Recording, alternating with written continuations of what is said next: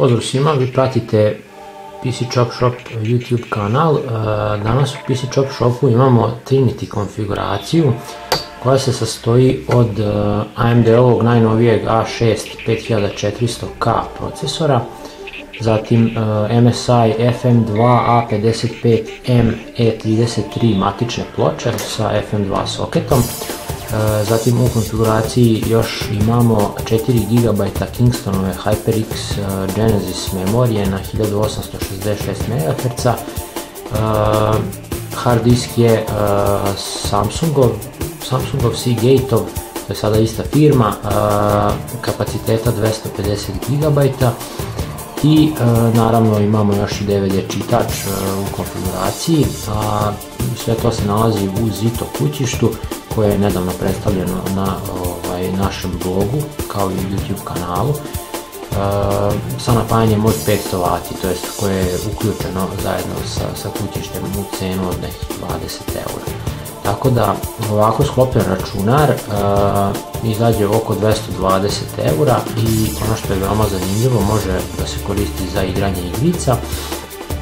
Ovdje na, na videu možemo primijetiti da nema instaliranu grafičku karticu, to diskretnu grafičku karticu, ostavljen je utor PCI Express puta 16, pa je moguće uraditi još jednu i iskoristiti pogodnosti AMD-ove Dual Graphics tehnologije gdje se koristi snaga još jedne diskretne grafičke u paru sa ovom integrisanom i dobijaju se performanse koje mogu da se okarakterišu kao ovaj, kada bi radili neki crossfire sa dve ovaj, slične grafičke kartice nekog diskretnog nivoa. E, u kombinaciji sa ovim procesorom e, preporučljivo je koristiti e, grafičke kartice do 6500 serije Radeon HD ovaj, koje se kod nas na tržištu mogu naći i za 40 eura.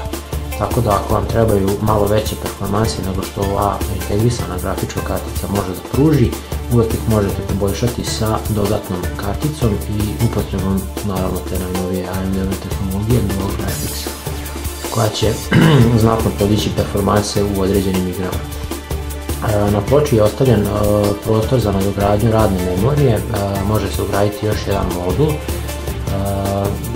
ovaj, nije bitan kapacitet, trenutno se kod nas može naći od 8 GB na jednom modulu, tako da ovaj, e, ova konfiguracija može imati 12 GB sa takvim, takvom nadogradnjom. E, zatim imamo još dva slobodna SATA porta, SATA 2 je u ovom slučaju, pošto je chipset A55M i on ne podržava SATA 3, e, a također i ploča veoma jeftina, pa vjerovatno i zbog toga.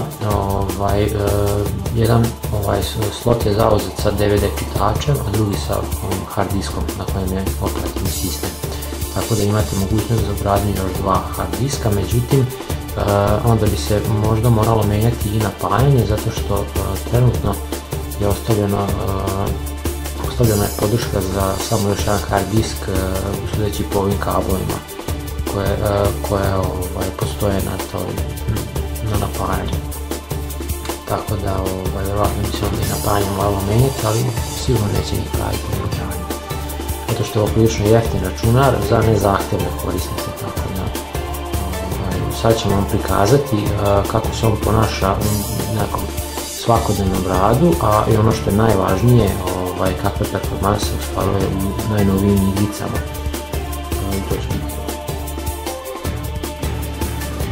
Ovdje možete vidjeti neke osnovne specifikacije, ime procesora, zatim kodni naziv Trinity, koji soket koristi, u kojoj tehnologiji je izrađen. E, trenutno se može vidjeti da je turbo clock uključen, da radi na 3792 MHz. E, međutim, ovaj, u zavisnosti od potrebe naravno, kada to nije potrebno, onda se clock spušta i do nekih 1300 MHz.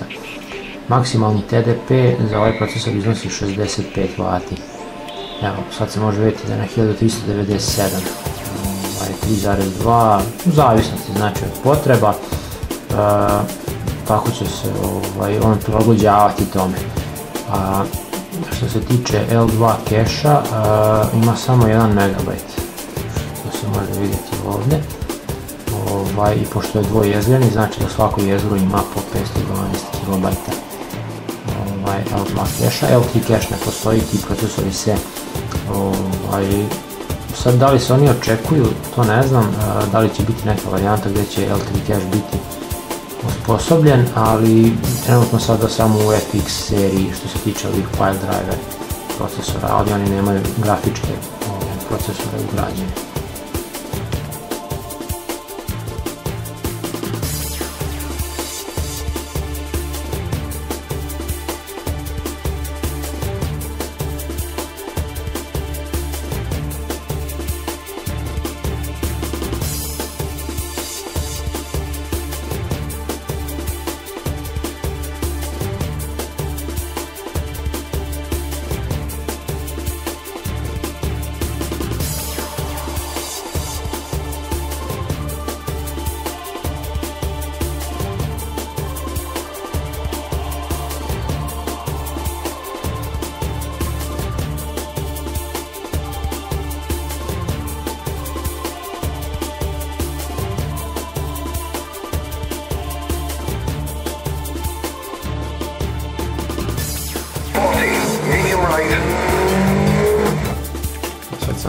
Vidite, igrica je Dirt 2, a kako je podešeno za grafiku.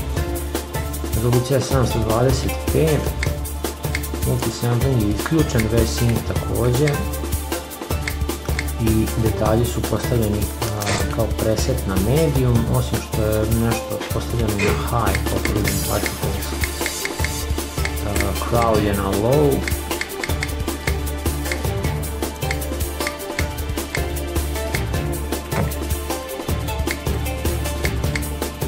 na toj rezoluciji sa tim podešavanjima daje neki 26 mm. I prilično igriju se može vidjeti sad iz priloženoga. 60, medium right long, fast ruins. Fast left, 60.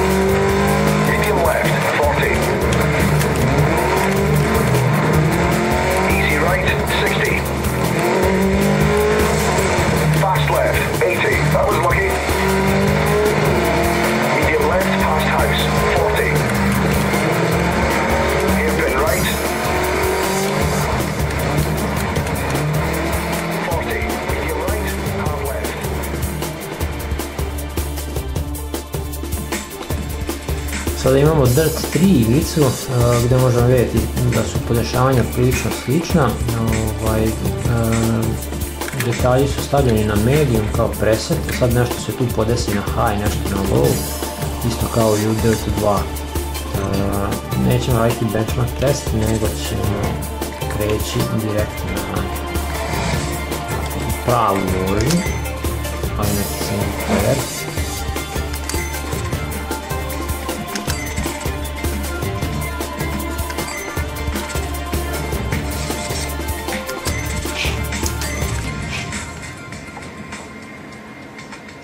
čisto da vidite koliko mu treba da loaduje mapu i koliko frameova ostvaruje u igrici.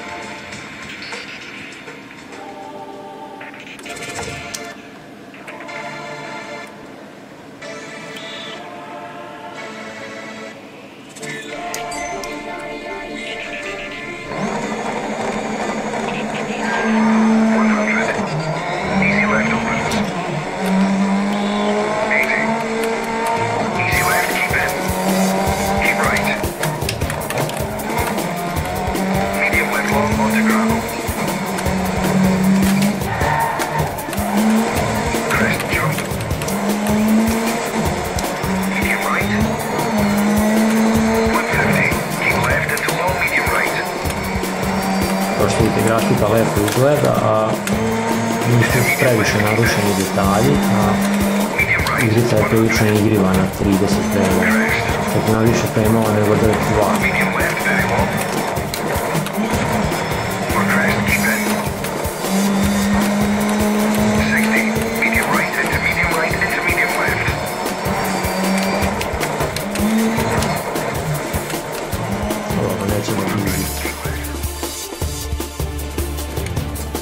Zatim imamo Rayman Origins koji na Full HD rezoluciji radi na 60 frame.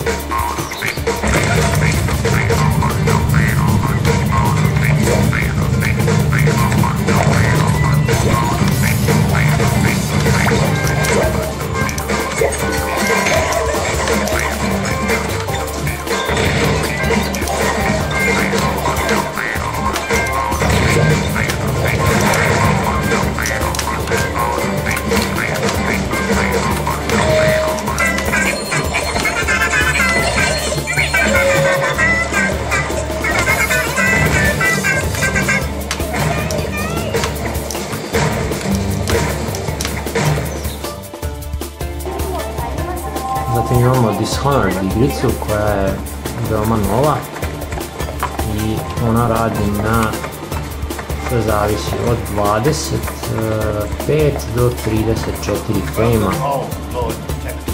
Vjerojatno zavisnosti od scene i Stop moving, Campbell. And you? dešavanja. I'm so sure that painting looks like Campbell. She'll see you at once. Rezolucija je 725, ako to već nisam spomenuo. We've gone beyond that question, Your Majesty. They're They're my citizens. Kao velikog ljubitelja Mass Effect igrica, ovaj, zanimalo me kako će se prvi deo ponašati, pošto to je ipak malo starija igrica. I onako bio sam prilično iznenađen, zato što detalje nisam morao da smanjujem. E, mada igrica sama nema neke velike opcije za, za podešavanje prikaza. Ovaj, jedino što je rezolucija 725, pa možda malo ovako sad čudno izgleda, ali pošto će konfiguracija biti spojena na televizor, onda je to nekako razumljivo.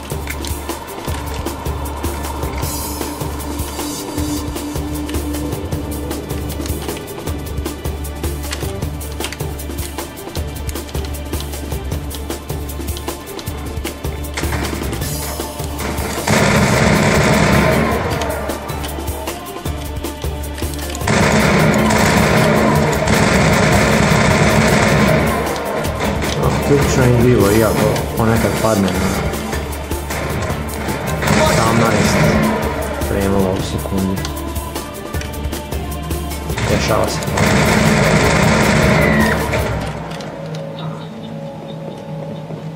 Negative contacts, Commander. This is the dig site. The beacon was right here. It must have been moved. By who? Our side or the Geth? Hard to say. Maybe we'll know more after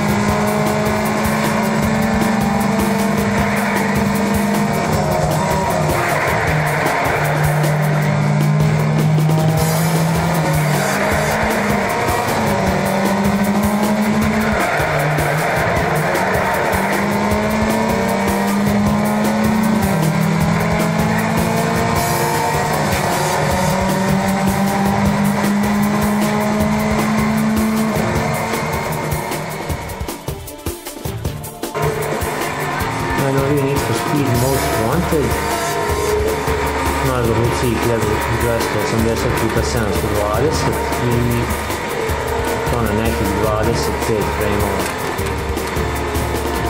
To je prilično dobar rezultat pošto je igrica nova i koristi DirectX 11. A sad kad uđemo u tunel, vjerojatno će opasti frame rate na nekih 17.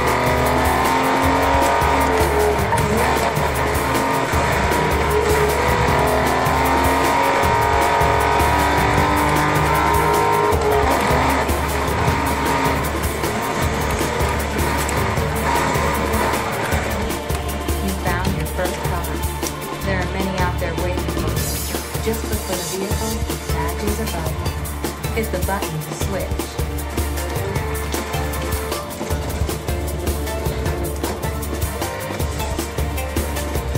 Every car you find has its own set of races. These can be accessed at any time using Easy Drive.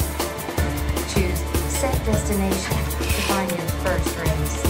A route to the start line will appear on your map. Follow it to the race start.